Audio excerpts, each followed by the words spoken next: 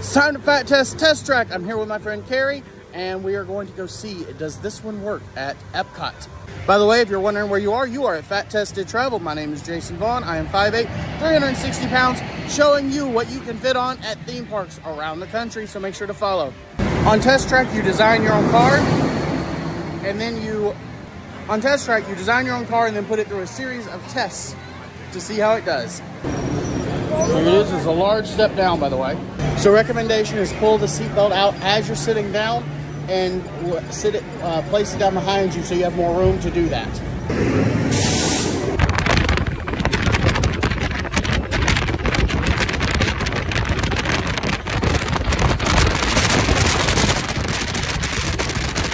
The step into the car is tough, but the seatbelt and the seats are very are uh, have a lot of room, so you should be absolutely fine.